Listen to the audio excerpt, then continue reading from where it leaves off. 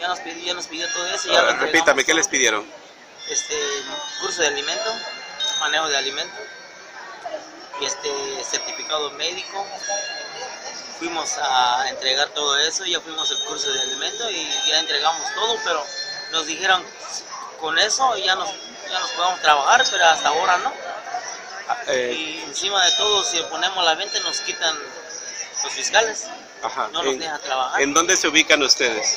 Nosotros somos aquí por el centro. Hay unos que estamos por la cuarta sur, por la quinta sur, en la calle central. Es decir, dispersos en las calles de la ciudad.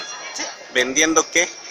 elote hervido, dulces tradicionales, mango pelado, frutas peladas, todos son esos no nos este que no este hacemos este competencia por el mercado ni, ni, ni- ni comercio así que están establecidos.